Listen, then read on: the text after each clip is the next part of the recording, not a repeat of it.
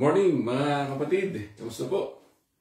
Today is uh, January 21, 2022. God bless po sa bawat isa po sa atin. Friday. Today is Friday. Good morning sa bawat isa po. Ah, habang tayo po ay nagkakape at habang tayo po ay kung ano man yung ginagawa po natin, iba po siguro nakahiga pa, may hawak po ng cellphone, yung iba siguro nakaupo na, nagkakape. Yung iba siguro naglilinis na, nagwawalis, o kung ano man. Good morning po sa bawat isa po sa atin sa ating daily devotion dito po sa uh, ating social media, mga kapatid. Good morning po sa bawat isa. Happy birthday po sa, sa mga may kaarawan po. At uh, happy wedding anniversary sa kanilang mga uh, wedding anniversary, kapatid. Ano po. Good morning sa inyo, Brother Rolando Guillermo o Sister Jeanette Pagulong. Good morning po, Sister uh, Fe Santa Ana. Good morning po sa inyo, Brother Efren Grospe. Good morning, Sister Ayeka Ramos. Good morning po sa inyo dyan. Sabi niya, yan, mga taga-Canada, mga kapatid natin. Sister Berna Comandante Gail, Sister Aurora Makagba. Mapagpalang umaga dyan sa inyong lahat, mga kapatid kay Kristo. Yan, mga kapatid natin dyan sa, sa US. Yan, okay? Sino pa? Aha. Sister uh, Luz Moica, good morning po. At uh, Sister uh, Minda Pangilinan, good morning po sa inyo. Sister Brother Ephraim Bumagat, good morning po. Uh, Sister uh, Brother Mauro de Los Reyes, good morning. Mga kapatid natin dyan sa Paho Church of Christ, si Brother Gerald Abella, aking kapatid. Uh, Sister Tita San Jose, yan. Brother Manny Valencia, Sister Norma, yan. Guillermo, good morning po sa inyo. Yan, Sister Ruth Danganan, uh, Sister Lorna Dasing, Sister uh, uh, Narcy Hombrobeno, good morning po, Sister Narcy, good morning po sa inyo. Okay, uh, kahapon ha, salamat po sa pag-imbita kahapon sa NYCC. Yan po yung gawain po ng mga kapatid natin dyan sa sa Canada, tas US, parang meron silang Zoom. No?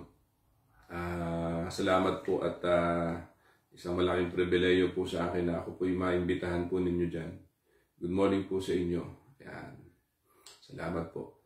Uh, God bless po sa inyo. Okay. Uh, tuloy natin. Tapusin na po natin ngayon yung ating uh, pinag-uusapan dito po sa benefits of obeying the Bible. Ngayon pag-usapan natin, of course, ganun din naman eh. Benefits of obeying God's Word. Yan po yung ating pag-uusapan, no, mga kapatid. Salamat po sa bawat isa at uh, share lamang po natin ito, itong uh, video natin. At uh, lagi ko pong uh, sinasabi na pwede pakivisit po yung ating uh, yung ating uh, uh, YouTube channel. Ano po sa of course sa YouTube, yung ating uh, account po is Gilbert Abella TV. No, salamat po sa inyong uh, sa inyong uh, pag uh, pagbisita ano mga kapatid. At paki-subscribe na lang din po ano doon po sa ating YouTube uh, account, Gilbert Abella TV. Yan. Itong uh, video natin ngayon, mamaya ita-transfer po natin yan doon, no, mga kapatid. So, at saka kasama po, usually dalawa-dalawa po yung uh, nililipat ko sa, ano, sa YouTube. Yung isa po, yung luma na yun, yung luma. Dahil para hindi po siya mawala, hinahanap-hanap ko po, iniisa-isa ko po eh. O, yun, yan ang transfer ko. Kasama itong bago. Ano po, bukas, asin at ilaw naman, at lumang video naman na devotion para hindi po mawala. Okay, so good morning po. Uh, gusto ko lamang pong uh, i-anunsyo na tayo po ay nakapagpagawa na, na po ng t-shirt ng asin at ilaw. Ano po, yun po ay 250 ang isa. Ano po, anong any sizes? 250 po. Uh, yan mga kapatid ko. So nakapagpagawa na po ako ng 30 pieces kung hindi ako nagkakamali, uh, ter, uh, 15 na 15 na small at saka 15 na large. Yun po muna, uh, kumbaga, sample. No, uh, baka by next week po, pwede, pwede ko na po ipakita sa inyo. Kasi baka Monday daw po matatapos po yung ano, yung uh, yung pag-print. So yan po asin at ilaw, wala po siyang logo po ng uh, Church of Praise at Pines, ano po. Asin at ilaw, purely asin at ilaw lamang po. Ano po para po uh, ayan, kung may gusto po pwede nyo po akong kontakin. 250 po ang isa. Yan po ay, ang proceeds po niyan mapupunta po sa, of course, sa sinatilaw natin na programa. Uh, dahil siyempre, tayo po ay nagrerenta doon sa radio station. So ito po yung iniisip po natin na parang you know, parang uh, fundraising na rin ano. Uh, meron kayong makukuhang ano t-shirt and the same time yung kapalit noon eh pag naipon po yun, mapupunta naman po yun sa pang ano natin, pang buwan ng uh, ika nga i-renta doon sa radio station. Nagbabayad po kasi tayo. Eh. No, so yan po mga kapatid. Yeah, salamat po sa sa mga mag-order, sa mga o-order. Yan, salamat po sa inyo. Ayan po yung papadala po natin, just in case po, papadala po natin sa ano po yan, sa LBC. At kung lulubin po ng Panginoon at kung meron po tayong medyo may budget pa, eh, gagawa po tayo ng mag, magpapagawa tayo. Nakalagay po dyan, asin at ilaw. Yan, di ba? Ang ganda. So, asin at ilaw. Yun po yung kung magkano yung amount, hindi ko pa po alam. hindi ko pa po alam kung magkano po. Kasi depende po sa gagawa. Ano, yan. Uh, hindi ko pa kasi natanong. Tapos kaya keychain, pagawa po tayo nun. So ito po mga kapatid, tuloy na po yun. Yung t-shirt po natin, nakapagpagawa na tayo. Antayin ko na lang po yung finished product. By next week, papakita po natin dito. Bukas kasi nasa Asinet Ilaw tayo. Wala pa, hindi pa tapos eh. Andun ako sa radio station bukas. Hindi pa mapapakita. So by next week po, sa during our uh, daily devotion, yan, pwede natin ipakita. Okay, salamat po ah. Salamat po sa inyo dahil uh, andyan po yung uh, presensya po ninyo at uh, sa inyong uh, patuloy na panonood at pakikinig ng ating daily devotion kagabi. Uh, yung Aral at Gabay, ano po, every Thursday naman po yung ating Aral at Gabay. Salamat din po sa mga nakasama po natin and of course yung ating uh, every Saturday na radio broadcasting ministry and social ministry, social media ministry uh, ang at, ating asin at ilaw. Yan, yan po yung ating uh, uh, ministeryo. Yung ating pagsamba, doon po sa may mga nagko-comment, na uh, may nagme-message, nagtatanong, alas 9 po hanggang alas hanggang alas 11 po yung pagsamba namin, namin dito sa Pine, sa Baguio. Uh, every Sunday po yan. No? Uh, meron pong uh, uh, malit lang na percent na may face-to-face na mga kapatid. At the same time, meron po kaming naka-online. Naka-online po yan. Ano po mga kapatid. Okay, so yan lang po yung mga gusto kong sabihin po sa inyo. And of course, pa-share po itong video natin. And of course, pakivisit po yung ating uh, YouTube uh, account channel. Diyan po sa YouTube. Uh, Gilbert Abella TV. Paki, paki-watch na lang po or paki-subscribe na lang din po kayo. At paki-touch na lang din po yung notification bell. Yung all, paki-touch na lang po para manonotify po tayo sa mga mga nai-upload po natin mga video po doon po. Okay, so God bless everyone. At pag-usapan natin ito, itong Psalms 119, Benefits of Obeying God's Word. Yan po yung ating tatalakayin sa umagang ito. At bago po yun, tayo po muna ay mag-ukol po ng panalangin. Ama naming Diyos na banal, dakila at makapangyarihan ka sa lahat, kami po ay Nagpapasalamat uh, once again Lord sa umagang ito na kami po'y ginising mo, na taglay namin ang buhay at kalakasan. Nagpapasalamat po kami sapagkat uh, may panibagong buhay, panibagong pagkakataon at uh, pribilehiyo na uh, meron kami, nataglay kami na gagamitin namin. That once again, we will serve you, Father God, this entire day. We thank you, God. We praise you, Father God, for your glory and for your mercy and your kindness, Father God. Thank you also for your grace because uh, uh, we are already forgiven by your grace because we are all, uh, kami po'y nagkasala. Uh, we are all sinners, Father God. And, but because of your grace, you saves us. Thank you, God. And thank you. And we praise you, Father God. Salamat at uh, once again, uh, patuloy naming uh, hinihingi ang uh, iyong kapatawaran sa mga nagawa po namin mga pagkakamali upang kami po'y patuloy na maging karapat dapat sa iyo. And salamat sa iyong kabutihan, salamat sa iyong uh, uh, pagiging tapat din sa amin. Salamat din sa iyong kaya pag-ibig. Salamat sa iyong biyaya na ito po Panginoon ay patuloy na nararamdaman po namin ang uh, ang kapatawaran sa mga uh, nagawa po namin mga pagkakamali. And uh, once again Lord, sa oras na ito, we ask your guidance and we ask your your uh, knowledge and wisdom, Father God. Please lend us, Father God, enough wisdom so that we will be able to understand and to comprehend, Father God, sa lahat ng mga pag-uusapan po namin sa umagang ito. Ikaw po ang manguna, ikaw po ang maitaas, ikaw po ang mabigyan po ng kapurihan. Ang lahat ng ito ay aming panalangin sa pangalan po ng aming Panginoong Jesus. Amen. Muli mga kapatid, magandang umaga po sa inyo. Talakayin po natin ito uli. Ano po? Benefits of obeying God's Word. Ano po? Kahapon, pinag-usapan po natin ano po ba yung mga benepisyo. Ayan, tapusin po natin po dito. Ano po, ano po ba yung mga benepisyo? Pinag-usapan natin kahapon, ano po, a basis for evaluating criticism and opposition. No? Ang sabi po ni David, no? sabi po ng verse 23, no? sabi po ng verse 23, kahit ako'y usigit labanan ng pamunuan, itong uh, iyong uh, abang lingkod sa utos mo'y mag-aaral. Oh, sabihin, kahit na may mga umusig, kahit na may mga against sa kanya, kahit may mga tao na talagang ayaw sa kanya, still, ano po, uh, andun po yung kanyang oras at panahon para pagbulay-bulayan ang salita ng Diyos. Andun pa rin ang kanyang oras at panahon para magbasa ng salita ng Diyos. And same thing with us as Christians.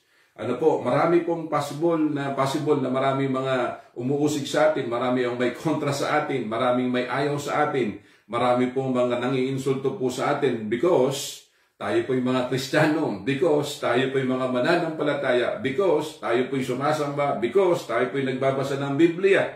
Hmm, di ba, ang kapatid? Ganun, maraming ganun eh. Maraming mga, posibleng naranasan po natin yan. But then again, ang sabi ni David, makakakuha po tayo ng magandang aral po dito. Ang sabi niya, sa verse 23, itong iyong abang lingkod, sa utos mo'y mag-aaral. Oh, bagaman yung pamunuan, usigit labanan ang pamunuan. Sabi niya, kahit ako ay usigit labanan ang pamunuan, ano itong iyong lingkod, abang lingkod sa utos mo'y mag-aaral. O, ganun din dapat sa atin. Dapat hindi po tayo uh, mapipigilan ng kung sino man. Dahil ang pinag-uusapan na rito, mga magulang at mga kapatid, ay pananampalataya. Usapan na rito, ang pinag-uusapan ay uh, buhay espiritual. No? Kaluluwa na pinag-uusapan dito. And again, oh, malimit po nating sinasabi na walang magagawa ang tao sa atin. When it, uh, in terms of in terms of our salvation, in terms of our soul, ano po, uh, ang ang mga tao wala siyang magagawa sa atin. Dito lang 'yan sa laman. 'Di ba? Dito lang sa laman eh. 'Di ba? Sabi nga ng Biblia eh, anong gagawin mo kung yung mga tao ay uh, sabi nga eh uh, patayin ka physically pero hindi ka naman niya kayang saktan, uh, you know, yung kaluluwa mo, eh, dapat doon tayo sa sa Diyos na kaya niyang pumuksa ng physical, kaya niyang pumuksa ng, ng kaluluwa, kaya niyang pumuksa. Di ba? Sabi niya, o yun po yung sinasabi po diyan. Eh, sinong, sinong susundin natin? Yung tao po na kaya niya lang pumatay physically? Ang tao, di ba? Ang tao, kaya niya manakit physically. Ano po mga kapatid? So, doon tayo sa, sa Diyos na matakot at doon tayo sa Diyos maglingkod. Nakita nyo, ang sabi ng Biblia. Tingnan nyo po. Kung meron kayong mga Biblia, doon po sa Hebreo, mga kapatid, tingnan po, uh, inom lang po muna ako sa mga kapatid, malamig eh, malamig po.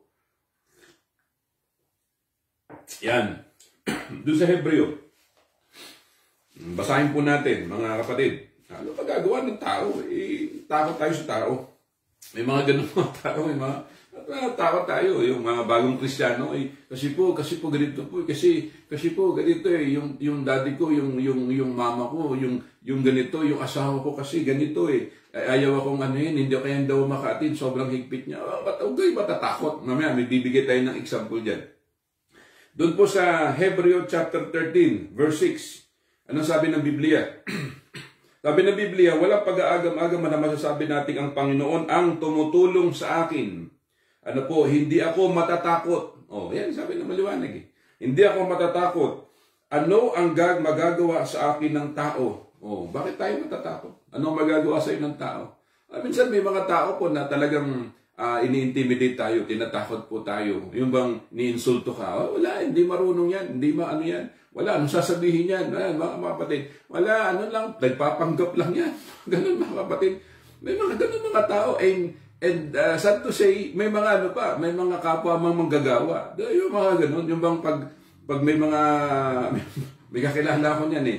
Ano po, yung bang kapag yung natataasan mo na siya, parang ganito, yung bang uh, advance siya sa'yo, advance siya sa'yo. Tapos, advance siya sa'yo, tapos na-realize niya, nakita niya na parang mas ikaw yung pinapakinggan kaysa sa kanya. Parang walang nakikinig kaysa sa kanya. Uh, walang nakikinig sa kanya.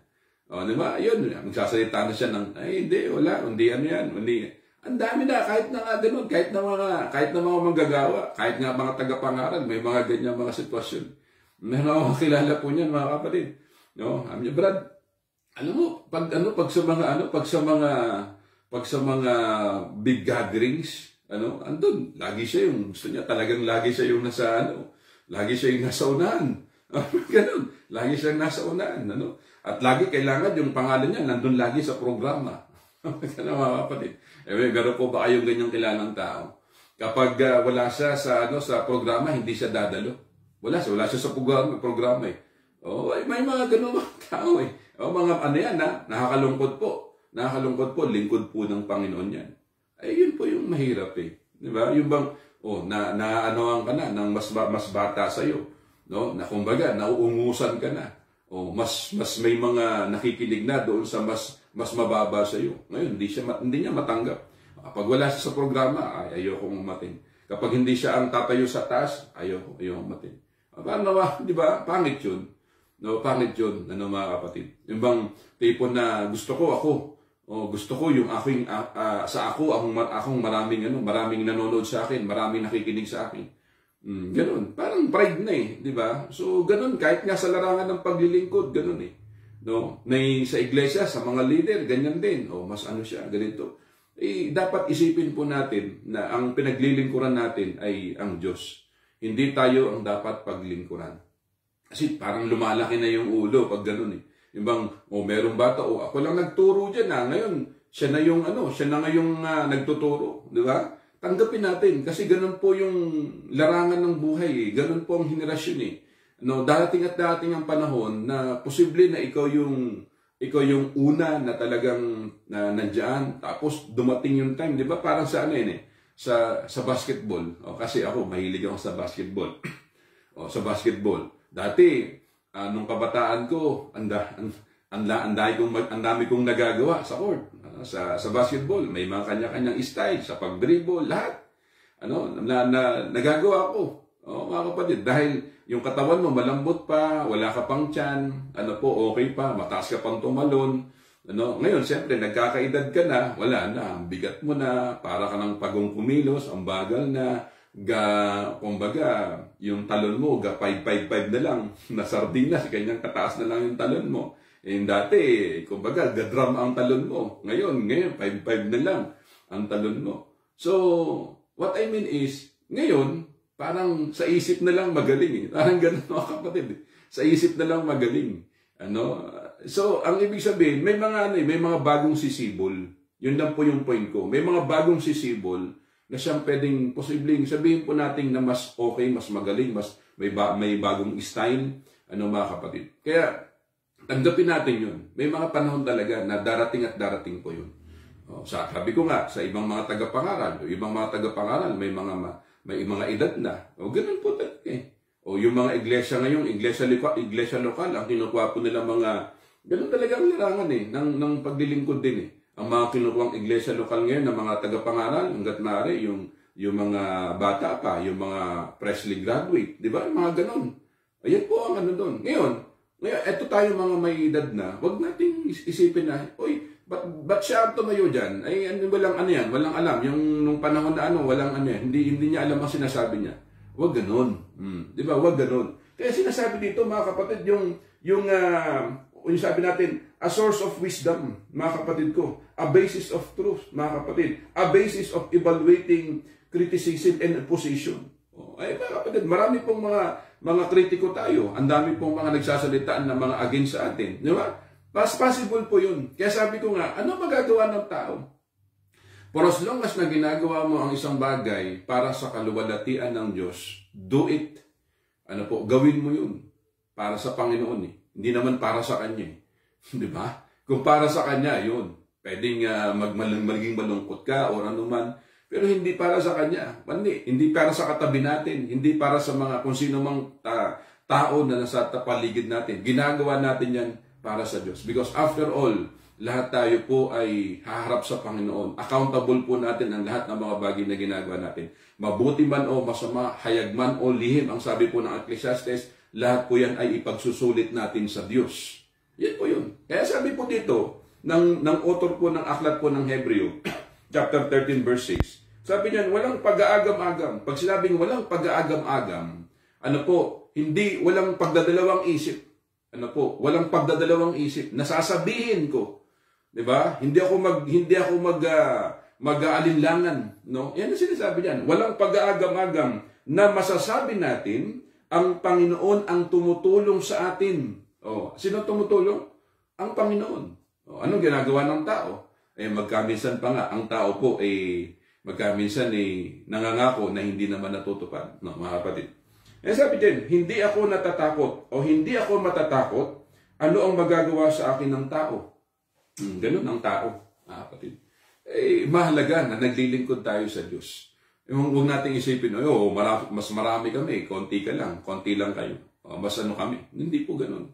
Ano po, sabi ko nga, kung ikaw at ang Diyos kasama mo, ano po, nasa iyo na ang lahat. Ano, isipin mo yun, ano po, sabi nga, if God is for us, who shall be against us? Kung siya ang Diyos ng mga ng mga tao doon sa Old Testament na ginamit niya, sila Moses, sila Abraham, ano po, sila Gideon, sila David, ano po, sila Saul, ano po, sino kung sino pa yung mga sila sila sila Elijah, kung sino man yung mga malalakas, sila Samson.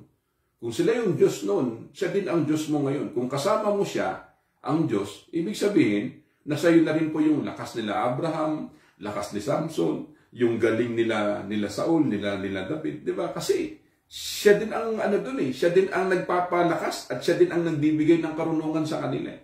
No, kaya kung kasama mo ang Diyos sa panahon natin ngayon, according from Book of Romans chapter 8 verse 31, 32, basahin niyo po 'yon. Ano po, kung, kung ang Diyos ay panig sa atin, sino pang lalaban sa atin? 'Di ba? So, sino pa nga, sino pa nga ba ang lalaban sa atin? If God is, is for us. Ano po, kung ang Diyos ay para sa atin, kung ang Diyos ay nasa atin, walang pwede mang tayong dapat na ikatakot. Why? Because ang Diyos ay kasama po natin. Yan po ang uh, sinasabi diyan mga magulang at mga kapatid. Kaya wag nating wag nating uh, panghinayangan. Kasi po ganito po eh, ay ayoko po kasi ayoko po dahil dahil ang dami pong sasabihin sa akin ng tao eh. No, ay, uh, yung word na criticism ano po. Kaya kapag tayo po ay nagbabasa ng salita ng Diyos, ano po, ito po yung, ito po yung ano po eh, ito po yung uh, uh, basis for evaluating criticism and opposition. Ayan po, kaya nga si David, ang sabi niya sa 23, kahit ako'y usigit labanan ng pamunuan, ano po itong iyong abang lingkod, ano po, uh, sa utos mo'y mag-aaral. Ano pang sinasabi? Mga kapatid, ito pang sinasabi niya dito, sa verse uh, uh, 84 hanggang 88. Oh, mga kapatid. 84 hanggang 88. Ang sabi ng Bible ay ganito. Gaano bang katagal pa ang lingkod mo, ang lingkod mo maghihintay sa parusang igagawad na ng usig kung kaawad? Sabi sa 86, silang mga mahambog, mga taong masuwayin, nag-umang ng mga bitag upang ako ay uh, hulihin. Sa 86, Inuusig nila ako kahit mali ang paratang. Sa batas mo'y may tiwala, kaya ako ay tulungan. Sa batas mo'y may tiwala, kaya ako iyong tulungan.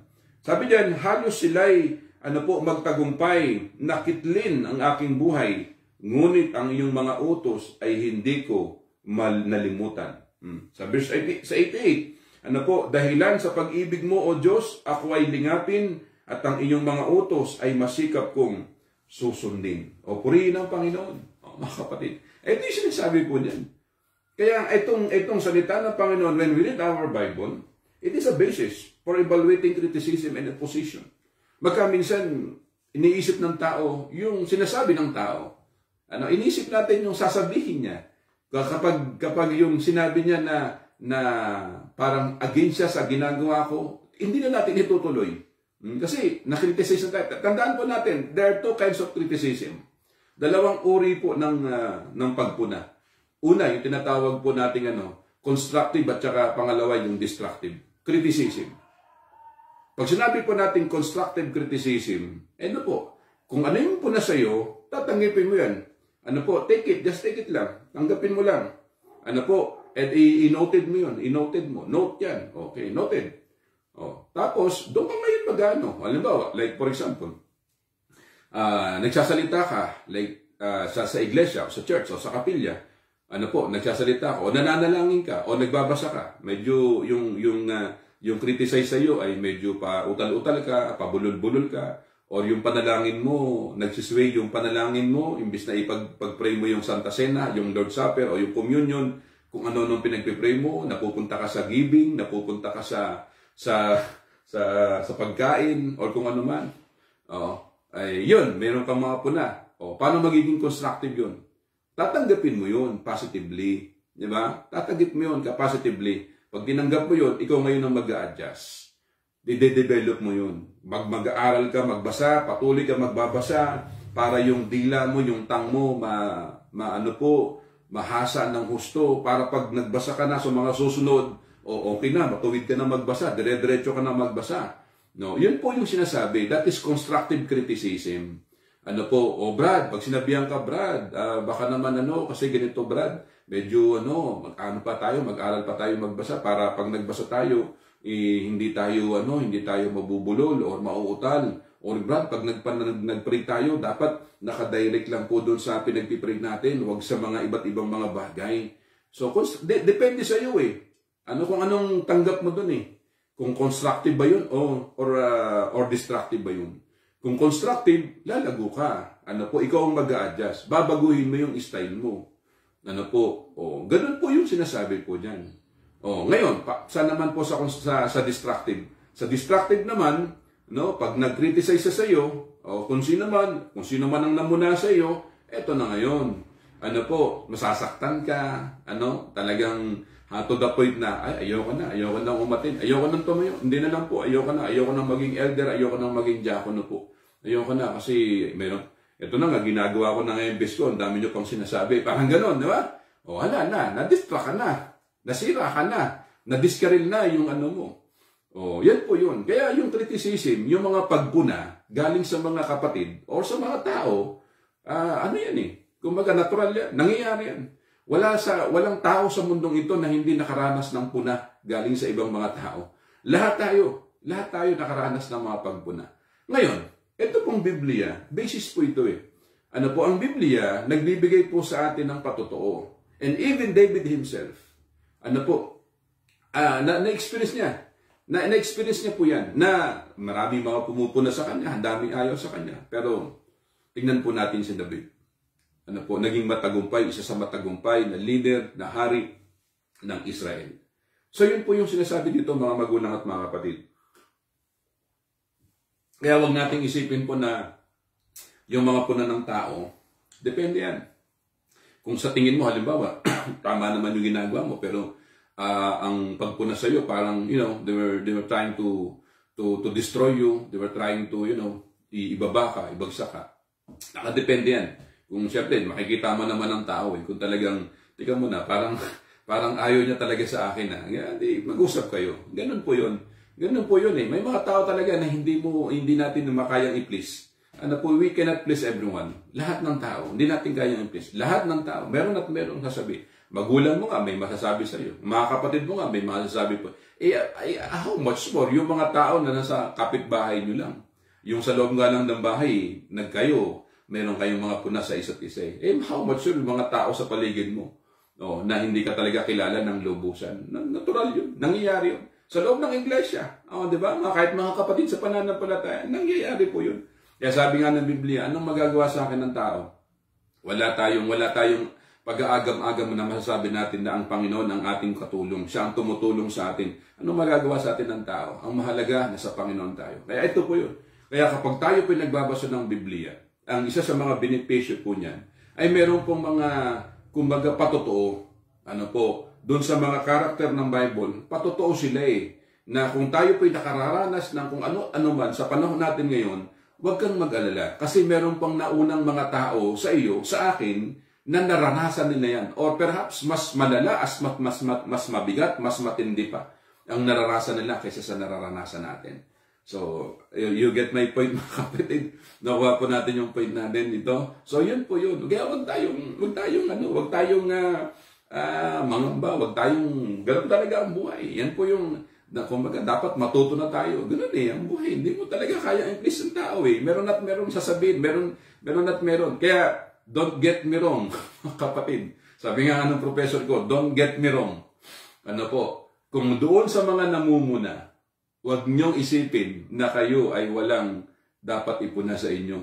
Posibleng may mga puna rin kayo. Sabi nga nila, oh, nakaturo yung isang daliri mo, pero yung tatlo nandoon, nakaharap naman sa iyo. Di ba? Nakapuna ka sa iba, oh, pero sa iyo, ang dami po lang dapat mapuna. Pero bakit? Hindi lang nila tinitignan ang yung sarili mo, yung hindi ka na lang nila pinupuna. Dahil maramdamin ka, mas kung todo kang maramdamin. Di ba? Mga ganon. So may mga ganon mga tao. Oh, mahilig ma ganito, ganito, turo, oh, ganito, mm, yan, yan. Gusto kong ganito, gusto kong ganyan. Mm. Ah, dahil pa na, ayaw ko ng ganyan. Alam mo, parang siya po yung boss, asawa siya po yung amo. Di ba? Oh, ganito ha, ah, gusto, gusto, mm, mm, kala mo siya yung may-ari ng iglesia. Kapatid, nangyayari yan eh. Hindi mo mawala yan talaga. Oh, pero doon po sa naggagano na yon, huwag niyong isipin, kapatid ko. Ano, wag niyong isipin na kayo ang may-ari ng iglesia or kayo ang may-ari ng kapilya. Ano po, merong may-ari ng iglesia, walang iba kundi si Kristo. We are all the body of Christ. Ano po, we are, or, are one. Iisa tayo. Ngayon, yung mga ganun, uh, sa mga ganyan, eh, wag niyong isipin na na kayo lang ang mayroong puna. Sa inyo rin, baka sa inyo, marami kayo, maraming puna sa inyo. Ngayon, hindi lang kayo pinupuna dahil alam siguro marahil ng mga tao sa paligid ninyo kung ano yung ugali ng mga taong ito. Di ba, kapatid? Oh, so, yun lang po yung sa akin. Ano, wag po kayong magdaramdam ha, mga kapatid. At ito po wala naman tayong uh, binabanggit na pangalan, kapatid. So, ito po yun. Kaya, ito po yung Bible. Eh, sabi pa, ano pa? A source of wisdom and guidance for day-to-day life. Ano po? Source po ito eh, ng karunungan. Di ba? Ano sabi po ng Diyos dito kay ano? Dito po kay Solomon. Pumili ka, sabihin mo kung anong gusto mo and I will give it to you. Ano po, just, sabi niya, name it and I will give it to you. Anong sabi ni Solomon? Mga kapatid, sabi niya, what I want is wisdom. Sabi niya, kung anong gusto ko, ang gusto ko po ay bigyan mo lang ako. Please give me wisdom. Bigyan mo ako ng sapat na karunungan, ano, ng karunungan. O, anong binigay sa kanya ng Panginoon? Binigyan siya ng, ng Diyos ng karunungan. Kaya amen, meron tayong kawikaan, meron tayong proverbs. Ang dami na sinasabi doon, puro karunungan. No, puro karunungan. Turuan mo ang bata sa daang dapat ng likaran. Uh, sumunod ka sa kautusan, habang bata ka, sumunod ka. Puro karunungan yan eh. Ano po? Puro karunungan yan eh. Ano po? Wag kang, wag kang, ano, wag kang makikipagtalo. Ano mga kapatid? So, bigay mo yung buhay mo sa Panginoon. Puro karunungan yan. So, ito po yung salita ng Panginoon kapag tayo po nagbabasa ng Biblia. Nagbibigay po sa atin ito ng sapat na karunungan bilang mga tao, bilang mga Kristiyano. Eh sabi ko nga, meron nga mong matanda eh, di ba? Si, si Lola Telling, ah, siguro kilala po ng iba po dito sa atin. Ano si Lola Telling, matanda na po yan. Naabutan pa namin. Napun, minsan napunta yan doon sa amin. Siguro nagbakasyon lang. napunta sa anak. Nagbakasyon, pumunta sa church, naging active. Bicolana yan eh. Oh, hindi, ang patotoo niya, hindi daw siya nakapag-aral. Never sa, sa buhay niya, hindi siya nakapag-aral. Pero, sabi niya, nung nagbasa daw siya ng Biblia, ano, na, doon siya natutong magbasa. Ang galing magpaliwanag tungkol sa Bible. So, wisdom eh. Ang Biblia po nagbibigay sa atin ng sapat na karunungan. Sapat na kaalaman. Sapat, na karunungan. Eh, sabi dito, a source of wisdom and guidance for day-to-day life. Anong sabi po ng Bible sa 105? Sabi ng 105, salita mo'y isang tanglaw na sa akin ay patnubay, liwanag na tumatanglaw sa landas kong daranan. Thy word is a lamp unto my feet and a light unto my path. Anong sabi po ng verse 103? O kay tamis na namnamin ang utos mong binigay, matamis pa kaysa pulot yaong lasang tinataglay. No, mga kapatid? Ito yung mga kapatid maliwanag eh. Kaya, a source of wisdom. Ano po? 176. Doon po sa last verse. Ano? Sabi ng 176. Ano po, para akong isang tupa na nawala at nawala, nawalay. Hanapin mo ang lingkod mo. Ako ngayon ay lapitan. Yamang ako'y sumunod sa lahat mong kautusan. Mm. Ayan mo mga kapatid. Kaya ito po yung nabibigay sa atin ng sapat na ano, na kaarunungan. Guidance yan eh. Ano po, ng paggabay sa araw-araw. Eh paano kung hindi ka palabasan ng Biblia? Wala na. Hindi mo alam kung paano. Kahit na lang ano na lang yung ugaling, wala ka nang kinukonsider, kinukonsider. Wala na, why? Parang kay sira-sira, whatever will be, will be. Ganun na lang ang buhay. Ano? Kung, kung ano na lang yung pag, paglaki natin, na ganun yung ugali natin, ganun na lang yung ugali mo in the rest of your life. Hanggang sa hanggang sa lambungan ka na ng ano, ng sinag ng araw. Ang ibig ko sabihin, hanggang sa mawala ka na sa mundong ito. Hanggang sa mamatay ka na, hanggang sa maiba, ma, ma, maiba. Ang tawag ito, ma-evaporate na, tama po ba? mawala ka na. Ano? So, ito, kapatid, wala na. Kaya tayo po, tayo, tandaan po natin, meron po tayo mga, mga, mga, mga ugali nung bata po tayo. Ano po, nung tayo nakakilala sa Panginoon, unti-unti tayo na bago. At yung tayo nakapag, nakapagbasa ng Biblia, nakapakinig ng salita ng Panginoon, unti-unti na bago yung mga ugali natin. Ano po? Kaya yung sinasabi po ni Apostol Pablo. Kaya sabi ni Pablo sa 1 Corinthians chapter 11 verse 2, verse 1, imitate me as I imitate Christ. 'Di ba? Sabi ni Pablo. So, sabi niya sa, sa 5.1 din po ng Epeso, sabi niya, be imitators of Christ. Gayahin natin yung ugali. Sabi niya yung salitang ano, Christ-likeness. Di ba? Gayahin natin yung ugali ni Kristo. So, nung tayo nakakilala na sa Panginoon, unti-unti nababago po yung ugali natin. Oh, yan po yung sinasabi niyan. Totoo po yan. Dati mayroon tayo ugali. Ugali natin dati, uh, madali tayong mainis, madali tayong magtampo, madali tayong, kumbaga, kumbaga sa salitang Tagalog eh, bugnutin ka, alam mo yung bugnutin, konting ano lang, eh, lumalabas na agad yung pangal mo, madali kang ma maasar, madali, kang mabuisit, mga ganun, bugnutin ka nga eh. Kapatid, wala eh. O, ganun ka siguro, ganun tayo siguro dati. Hmm, dati talagang, ano tayo, palaaway tayo. Siguro dati, ano tayo, pintasero, pintasera po tayo. Siguro dati, bully tayo, ano po. Pero dahil nung nakapakinig tayo ng salita ng Diyos, nakapagbasa tayo ng salita ng Diyos, ito po yun. Kaya nga ito po yung source of wisdom and guidance for day-to-day in, in our life, mga kapatid ko. Day-to-day life, mga kapatid. Ito yung sinasabi ko niyan. Nung tayo nakakilala, unti-unti na bago na yan. Hindi ka na nagiging ano, hindi ka na, hindi ka na bully, hindi ka na namiminta sa kapwa mo, hindi ka na chismosa, hindi ka na chismoso, hindi ka na uh, palaaway, ano po, hindi ka na namimintas, ano, hindi ka na, hindi ka na bugnutin, mga kapatid. So, nababago eh. Saan po nagmula po yan eh? Sagmula po yan sa Panginoon nung nagbasa tayo ng Biblia. Unti-unti na bago yung ugali natin. At ngayon, naging ano na tayo, naging Kristiyano, Kristiyano, mananampalataya. At tinuturo sa atin dito na maging ano nga tayo, yung, yung uh, Christ-likeness, no? maging kagaya tayo ni Kristo. Ano po, at magayahin natin siya bilang isang mananampalataya. So ito yung sinasabi dyan, mga kapatid. At ano pa? Sinasabi dito, encouragement, hope, and comfort. Nagbibigay po sa atin ito ng encouragement, nagbibigay po ng pag-asa, nagbibigay po sa atin ng pag-aaliw. Ano po? Nagbibigay sa atin ng comfort, mga kapatid. Ano sinasabi po ng, uh, ng Bible? Doon po sa 114, sa 114, Ikaw lamang ang muog ko at matibay na sanggalang. Ang pangako mo sa akin ay lubos kong aasahan. Okay? May mga pangako ang Panginoon. I will not leave you nor forsake you. Ayan po yung sinasabi dito. 166. Anong sabi ng 166? Doon sa Psalms 166. Ang sabi ng Bible, Hinihintay ko ikaw, O Diyos, upang ako'y iligtas. Ang anumang iutos mo ay siya kong tinutupad. Hmm. Yan, bibigay sa atin. Nagbibigay na sa atin ng pag-asa, nagbibigay sa atin ng encouragement kung tayo po ay medyo nadi-discourage na sa buhay na ito because of this pandemic, this, of this, because of this Omicron variant na yan, o may mga nararamdaman po tayo, may mga sakit tayo nararamdaman, ano po, and all that, mga kapatid ko, when we read our Bible, binibigyan niya tayo ng encouragement. Magpatuloy ka, huwag kang mawawala ng pag-asa. Di ba? Binibigyan tayo ng hope at binibigyan tayo ng comfort. Kung tayo po yung mga nangamatayan, kung tayo mga nalulumbay, nalulungkot po tayo. Anong ginagawa po ng, ng Bible, ng salita ng Panginoon? Kino-comfort niya tayo. Hmm, di ba? Kaya ang sabi ni Jesus Christ doon po sa John chapter 14 verse 26 hanggang verse 27, Ako'y aalis sa sanlibutan ito, sa mundong ito. Ngunit, huwag kayong mababahala, huwag kayong malulungkot sapagkat meron akong iiwan. Anong iiwan niya? None other than the Holy Spirit. Yung Holy Spirit na ito, ano, magbibigay sa inyo ng kaaliwan, i-comfort niya kayo, papaalalahanan niya kayo sa inyong mga buhay. Eh, yun ang, yun ang, yun ang purpose po nun, mga kapatid. Ngayon, dahil tayo po'y nasa Panginoon na, we receive already the gift of the Holy Spirit o yung Holy Spirit na siyang nagbibigay sa atin ng comfort. Ano po, every time na tayo po'y nakararanas po ng mga kapighatian, kalungkutan, ano po, namamanglaw po tayo sa mga buhay po natin, nawalan tayo ng trabaho, nagkasakit po tayo, ang daming problema, ang daming mga bayarin, kung ano na, siguro tambak na. Ah, ito po yun. Nandiyan ka na lang sa sulok, isip ka ng isip ngayon. Nalulungkot ka, namatayan ka ng asawa, namatayan ka ng magulang, namatayan ka ng anak, namatayan ka ng kapitbahay, namatayan ka ng kaibigan, o kung sino man na malapit sa puso mo.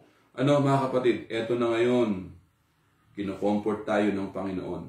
And when we read our Bible, ang Bible, isa sa mga benepisyong ibinibigay niya sa bawat isa po sa atin, ano po, it comforts us, mga kapatid ko. Kaya sabi nga po, napakamaliwanag, binibigyan niya tayo ng comfort, binibigyan tayo ng encouragement, at binibigyan niya tayo ng pag-asa.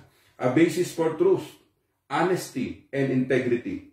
Uh, yan po yun. Ayan po yung basihan ng katotohanan, ng pagiging tapat, at ng pagiging ano, ng pagiging, ng, ng pagiging totoo. Mga kapatid, ano sabi ng 104, verse 104? Ang sabi ng talata ay ganito mga kapatid, sa bigay mong mga utos na tamukoy karunungan. Mm, di ba? Na, na, na tamukoy karunungan. Kaya ako'y namumuhi sa ugaling mahahalay. Oh, yan, yan po yun eh. Yan, yan po yung basihan eh. Basis for truth, honesty, and integrity. Ano pa? A sense of freedom. Sabi ng 145. A sense of freedom. Ano sabi ng talata? 145. Buong pusong tumatawag itong iyong abang lingkod, ako'y iyong dinggin, Yahweh, at susundin ko ang utos. Hmm. A sense of freedom. Ito po yun. Eh, susundin dapat natin yung utos ng Panginoon. Kaya mga kapatid, wag nawa na mawawala sa ating mga isip yung mga bagay na ito. Dahil yan po yung sinasabi po na, na para po sa atin. Hmm, meron pong nag uh, meron pong uh, nagtanong, paano po oh, sa ibang message po ito ah, paano po yung mga matagal ng Kristiyano pero madali pa rin mainis. Lagi naman siyang naman siyang uh, nagbabasa ng Bible pero mainitin ang ulo at uh, madaling magalit. Ano po, uh, palabintang pa. kapatid. Naku, saklap na ito. mga kapatid, yun po nakakalungkot. Ayaw kong banggitin yung pangalan na nagtanong ha. Ano po, private po ito eh. Uh, sabi niya, eh paano, Astor, eh, yung ano na yan, mat, eh, matagal ng kristyano, tapos pero madali pa rin mainis, mainis. La, lagi naman siyang, naman siyang uh, nagbabasa ng Bible, pero mainitin ang ulo at madaling magalit. Ano po, palabintang pa. o ano, may ganun, ano, may ganun mga tao.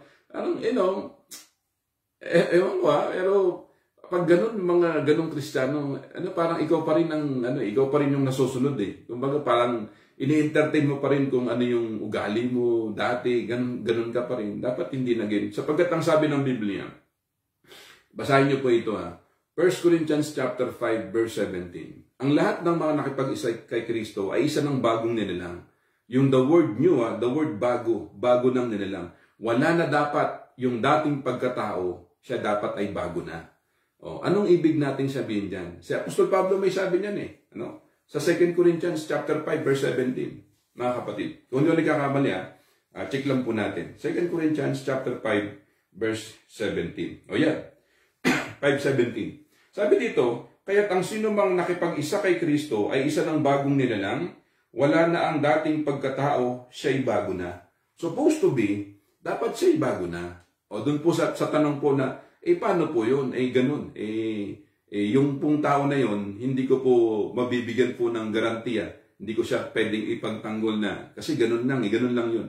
Eh, doon naman sa tao na ganun, ano, siguro, ah, kilala mo kung sino ka. O, ayaw kong banggitin kung sino nagtanong.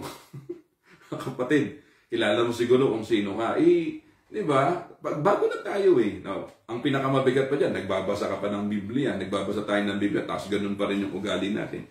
Pala, mabugnutin pa rin tayo. No, mga kapatid, tayo tapos tayo po'y madalis, ma, ma, mabilis mainis, madalis masar. O, tapos ang sabi ko sa tanong eh, uh, pala bintangin pa, o nagbibintang ka pa, nag, uh, di ba, mga kapatid, dapat alisin na natin yun kasi tayo po ano na eh, kristyano na bagong nilalang. Wala na yung dap, dapat na dating pagkatao. What, yung, yung, ang ibig ko sabihin, what I mean is yung dating pagkatao. Kung dati palabintang ka, madali kang magalit, mainis ka, nang na, naiinis ka, nung tayo na sa Panginoon na, wala na dapat yun. Unti-unti dapat, kaya sabi nga po natin, dapat labanan natin yung ating sarili. Ano po, we must, we must overcome ourselves. Ano po, kailangan mapaglabanan natin ang ating sarili. Kasi, After all, ang kalaban natin walang iba kundi yung sarili natin eh. Di ba? Yung sarili natin ang kalaban natin. Yan po ang sinasabi po niyan. Sabi dito ni Brother Boy, excuse, po. ang sabi ni Brother Boy, tama po, kung tunay na ano po na isusuko natin ang uh, ating sarili sa Diyos at hahanapin natin ang salita ng Diyos, babaguhin niya ang lahat ng hindi tama sa buhay natin. Gagawin niya uh, gagawin niya tayong matibay sa lahat ng uh, mga bagay. ano po, pagsubok, gagawin niya tayong ha, banal. O yun mga kapatid. O yun po sinasabi po dito. Kaya wag nating ano, isipin doon sa mga tao po na na paano yun, yung mga tao magagalitin, madalma, dapat po mabago tayo. Ano, mayroon pong kilalang ganyan eh. Sabi niya, ganito na ako eh. No, may mga ganyan mga tao, ganyan ang kapiran. Eh pag ganyan ka, eh nasaan yung ano, yung ng pagkilos ng Espiritu Santo sa buhay natin? Diba? Nasaan yung pagkilos ng Espiritu Santo? Kung ganyan ang katwiran natin. So, ibig sabihin, kung pag sinabi mo, hindi, ganito na ako nung dati pa. Nung napakasama mo ako, ganito na ako eh.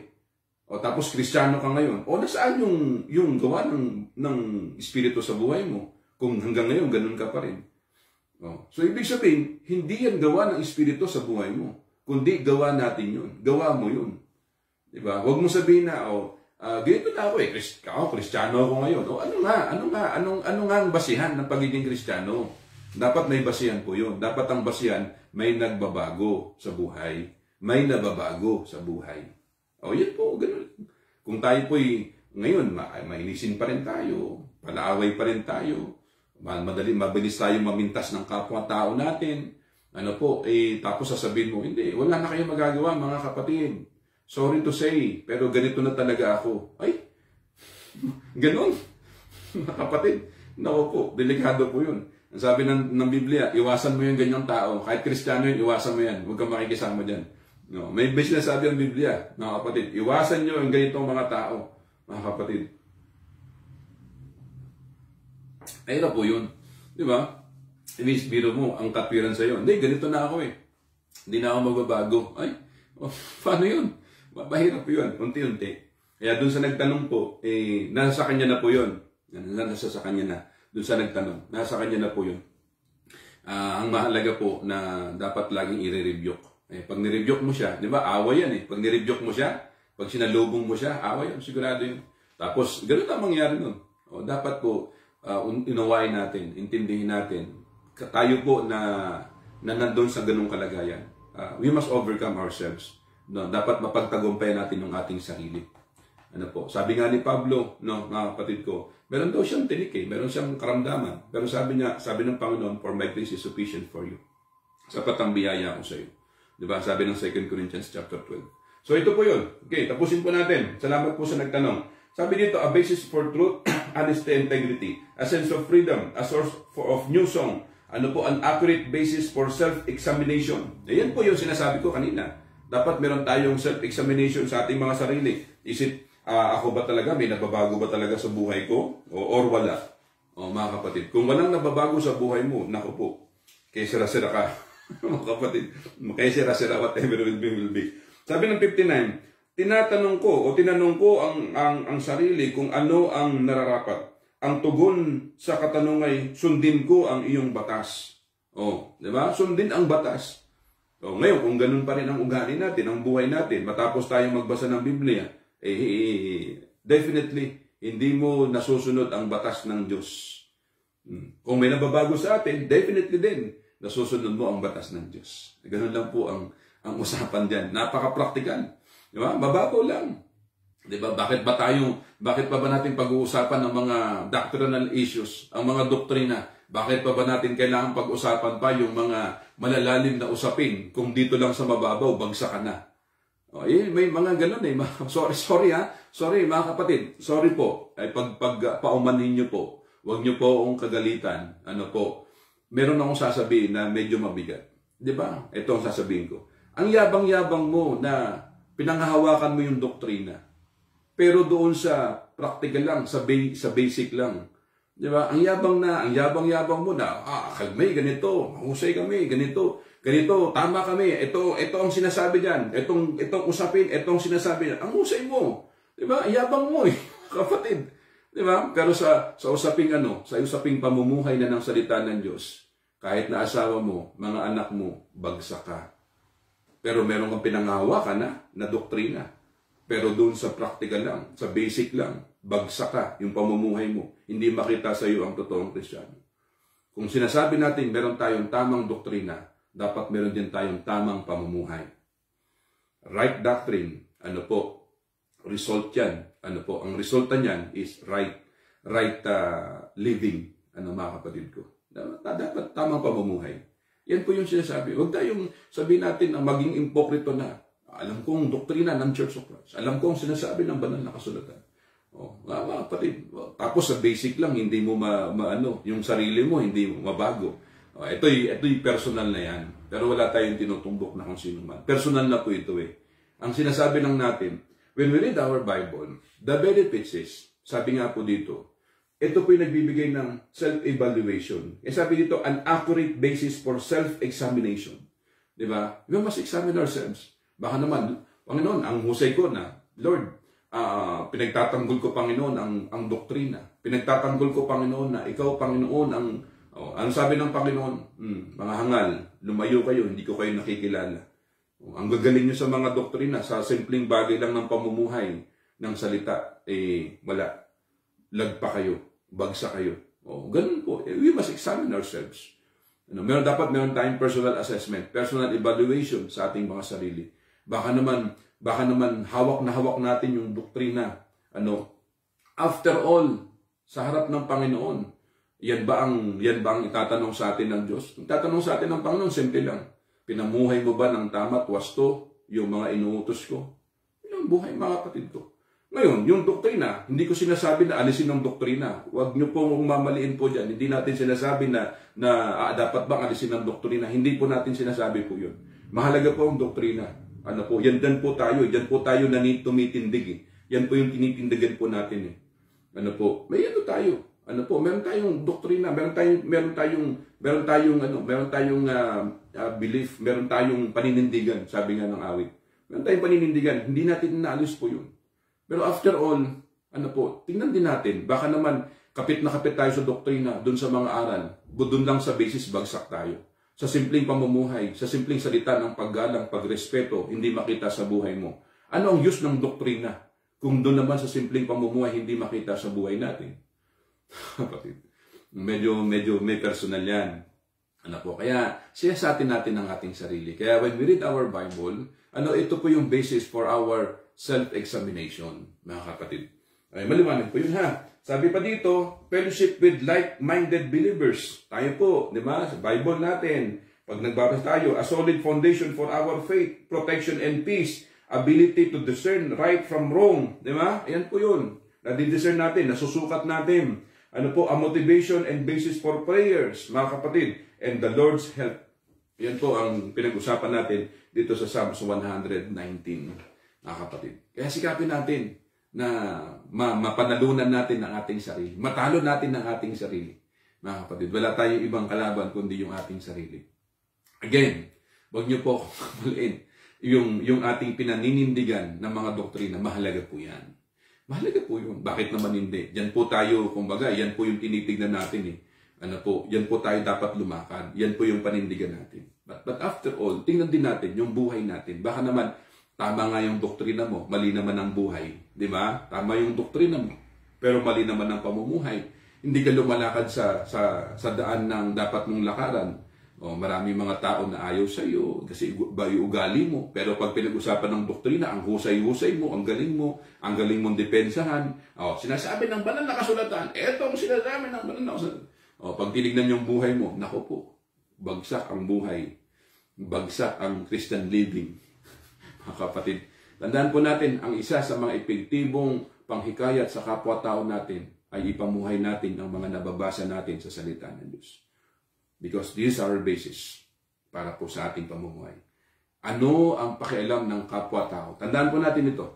Ano ang pakialam ng kapwa-tao natin sa mga doktrina na ating daladala? Tandaan po natin na, ito po muna sabihin ko, anong pakialam ng kapwa-tao natin sa mga doktrina nating daladala? Kung tinitingnan nila ang buhay po natin na wasak at sira, na hindi tayo lumalakad sa katotohanan, hindi natin pinamumuhay ang salita ng Diyos. Di ba? Tayo po, nung nakakilala tayo sa Panginoon, di ba po, tinignan po natin ng mga tao, ay mababait ang mga tao dito. Ano? Pangalawa na lang po yun, di ba? Nung tayo po na sa Panginoon na, doon nakita natin ang kahalagahan pala ng doktrina. Di ba? Ganun po eh. Oh, pero nung bago tayo makonverte, oy, ang ganda ng buhay niya, okay siya, magaling siya makisama, kristyano talaga. Ah, sasama ako dito kasi ang bait niya eh. Di ba ganun eh?